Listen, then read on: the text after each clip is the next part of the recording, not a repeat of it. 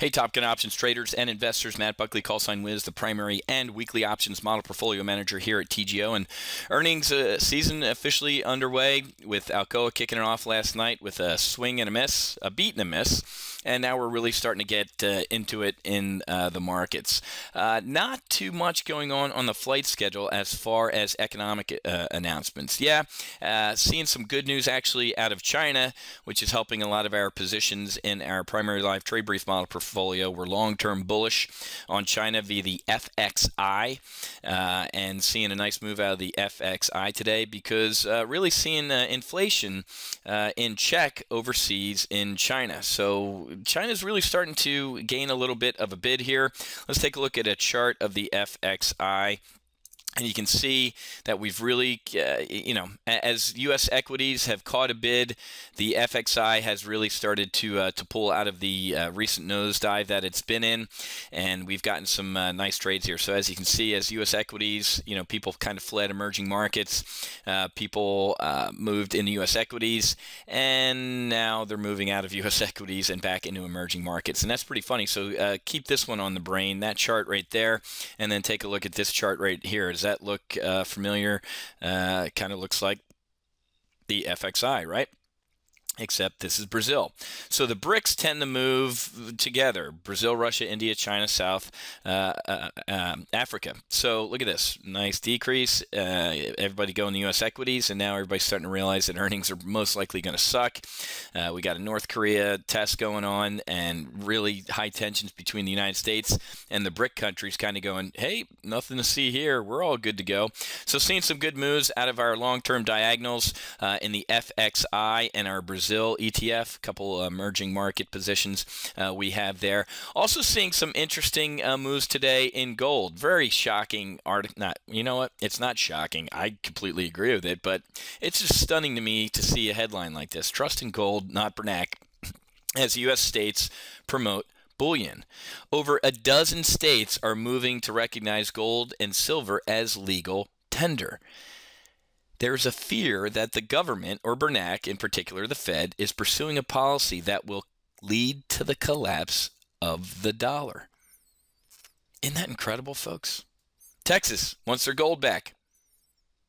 Texas Investment Management Company, um, they want their gold back. They want it back at the University of Texas. States not trusting the United States government absolutely shocking, right? Got news. Uh, a buddy of mine is the commanding officer of the Blue Angels, the Navy Flight Demonstration Squadron, the Blue Angels. They just canceled their season.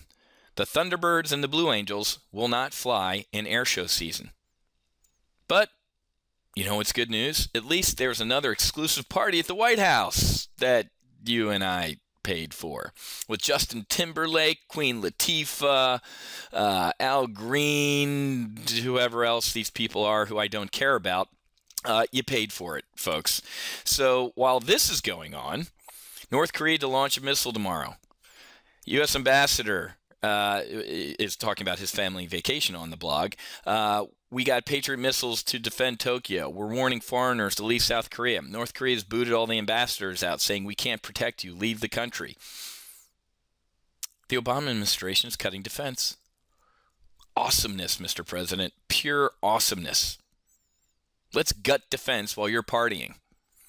Good stuff, folks. Um, so that's what's going on this week. Is the world could end and uh, Mr. Obama's partying, but um, this is very interesting, guys. The NFIB, it's a small business report, right?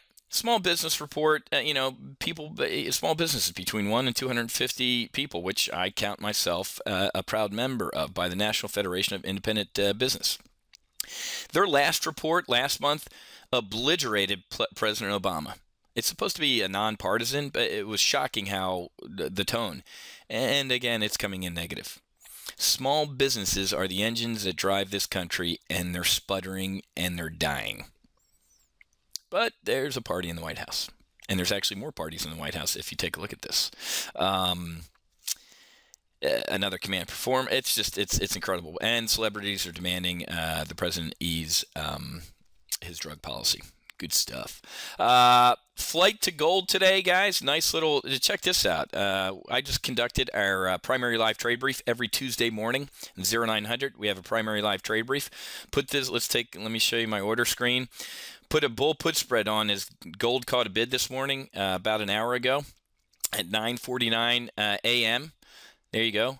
It was a bull put spread. Sold a weekly that expires this Friday. Weekly options, a bull put spread, sold the 151 and a half, 149 and a half bull put spread, and it's up 50% in 45 minutes.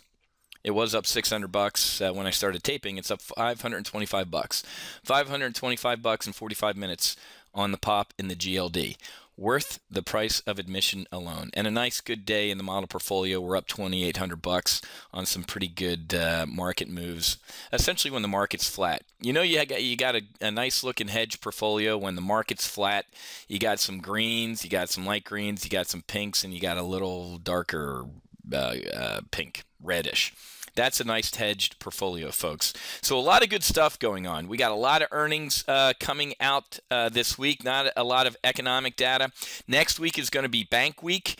Uh, Monday through Friday, we have everybody from Citigroup to uh, PNC to State Street to SunTrust to J.P. Morgan to Wells Fargo. Next week is Bank Week. Going to be a very very critical part of the earnings uh, season. A lot of regional re- banks report next week, and they, like small businesses, kind of are the engines of America. Uh, you know, the Goldman Sachs, the JP Morgans, Morgan Stanleys. Folks, go try and get a mortgage from Goldman Sachs. You can't.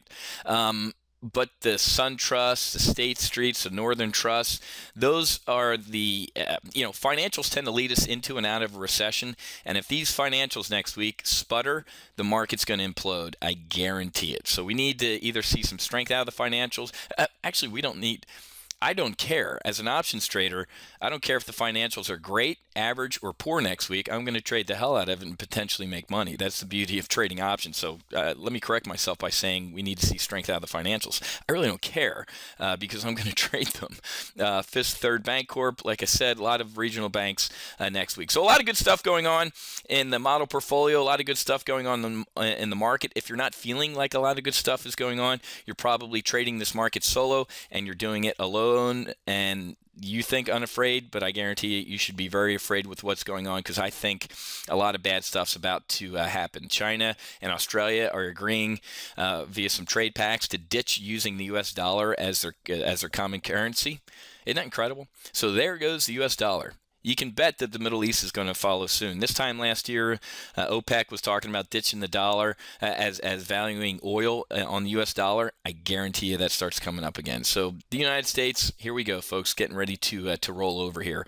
But uh, like I tell my Top Gun options traders, we're going to potentially make money on the stupidity of others.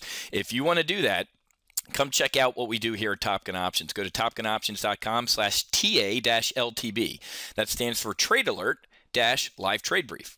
We have skill based trade alerts and we have skill based live trade briefs. For example, I run the program called Primary. It's more for people who are newer or kind of know a little bit about what they're doing with options. And then we have a volatility arbitrage trader that runs intermediate and advanced for people who know what they're doing with options or who think they're Jedi Masters. And if you think you're good, we'll make you better.